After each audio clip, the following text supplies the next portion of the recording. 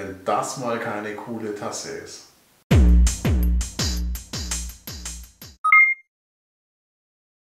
Herzlich willkommen bei holzmich.de. Schön, dass ihr wieder reinschaut. Für die, die meine Videos regelmäßig schauen, erinnert euch doch noch, wir haben neulich diesen schönen Holzteller hier aus Birkenholz gedrechselt mit dieser Einlage. Und den habe ich mittlerweile auch schon ein paar Mal als Outdoor-Geschirr verwendet und bin echt zufrieden damit. Das ist aber ein Teller alleine immer so eine Sache. Da kann ich ja nur davon essen, aber ich würde auch gerne was trinken. Und dafür möchte ich heute mit euch so eine Birkenholz-Tasse machen. Solche Tassen kennen wahrscheinlich einige von euch, die nennen sich Kuxa-Tassen, kommen auch aus dem skandinavischen Raum, ich denke irgendwo aus Lappland, so als traditionelles Samengeschirr. Die zwei, die ich hier habe, habe ich auch nicht selber gemacht, die habe ich mitgebracht von Reisen. Ähm, mir gefallen die super gut, ich habe die hier auch schon mehrfach benutzt und die ist einfach super praktisch und liegt perfekt in der Hand. So eine Tasse zu bauen ist in der Tat was, was ich mir schon seit vielen, vielen Jahren vornehme und immer wieder vor mir herschiebe, weil ich mir ehrlich gesagt gar nicht so richtig sicher bin, wie man sowas macht. Wir lassen es heute einfach drauf ankommen. Ich habe so Birkenholzkanteln, ich habe für alle Fälle gleich ein paar mehr besorgt, falls wir da was kaputt machen dabei. Ich würde sagen, wir legen einfach los, weil wenn wir nie anfangen damit, dann werden wir auch nie eine coole Tasse haben danach. Also, ich hoffe, ihr genießt das Video. Feuer frei! Jetzt schauen wir mal. Im Prinzip ist da ja nicht so allzu viel dran. Das heißt, ihr seht, ihr habt hier die Aushöhlung von der Tasse. Das ist außen so ein bisschen kugelig geformt. Und das ist hier so ein schöner Griff mit dran. Also der hier hat zwei Löcher, wo man mit den Fingern reinhackeln kann. Da muss ich mir noch überlegen, ob ich so machen möchte oder anders. Ich habe auf jeden Fall so einen Holzklotz da. Da, wenn ich mir das angucke, die Tasse ist ein bisschen größer als der Klotz, das heißt unsere wird Ticken kleiner werden. Aber im Prinzip brauchen wir irgendwo hier die Rundung und dann hier hinten in der Ecke die Aussparung für den Henkel.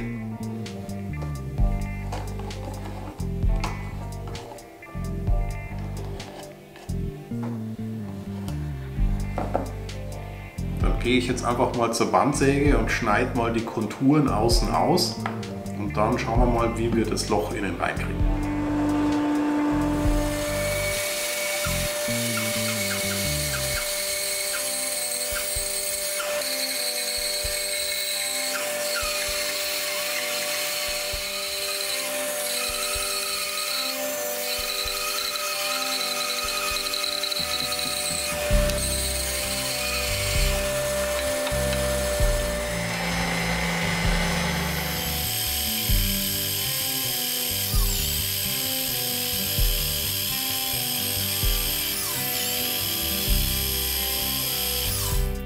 Wo ist jetzt die Tasse hin?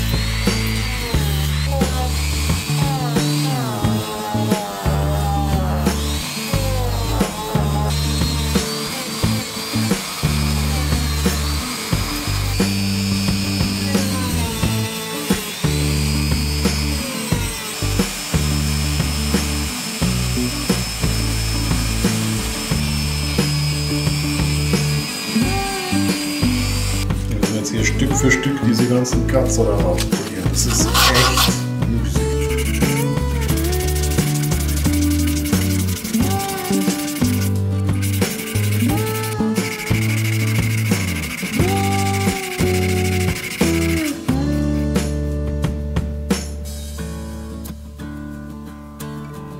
Also ich habe jetzt alles bis Körnung 240 geschliffen und danach nochmal mit so einer Schleiffließmatte ein bisschen die Oberfläche anpoliert.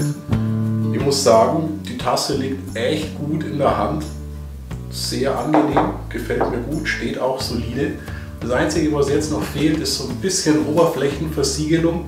Da nehme ich das gleiche her wie für diesen Teller auch. Das scheint sich echt ganz gut zu behaupten. Ähm, Habe ich auch schon dastehen und dann bin ich echt gespannt, wie die Tasse dann aussieht.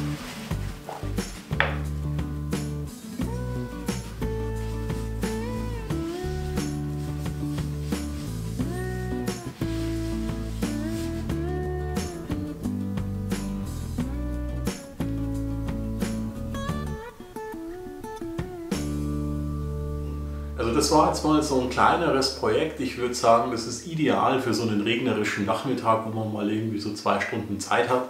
Da kann man sich so eine Tasse bauen.